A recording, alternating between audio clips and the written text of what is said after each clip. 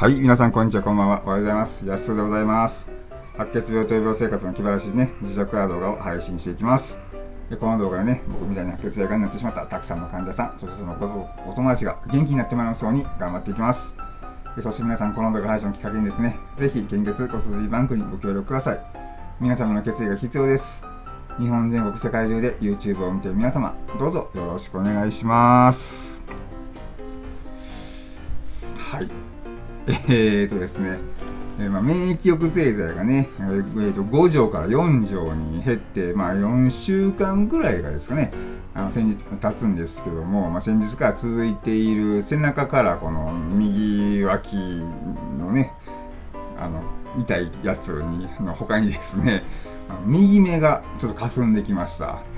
ま前々から言ってるんですけども、まあ、こういった症状はね、免疫抑制剤が減るとですね、出てくるもんなんで、まあ、しゃあないんですけども、まあ、記録としてちょっとね、お話しさせてください。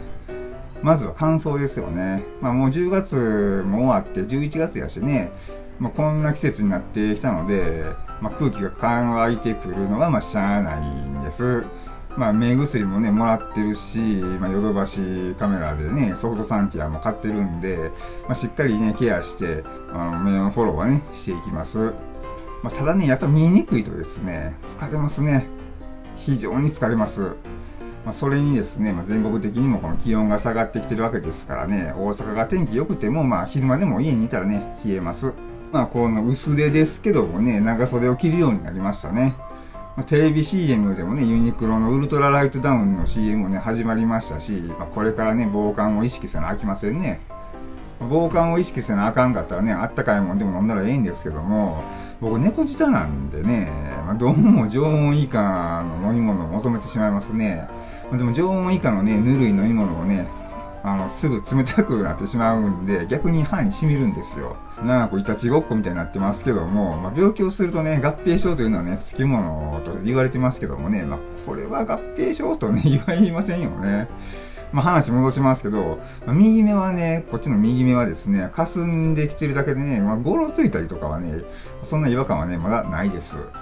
までも今はね、眼科で目ぐあの目の細胞をね、ゆっくりと回復させるその真っ白い薬、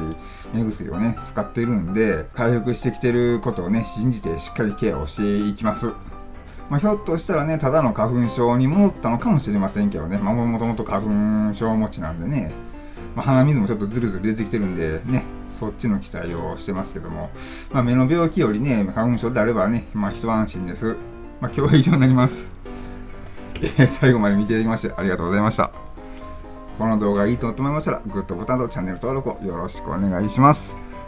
そしてね、この動画、このチャンネルがよりたくさんの方々に届きますことを願っております。本日もご視聴ありがとうございました。バイバイ。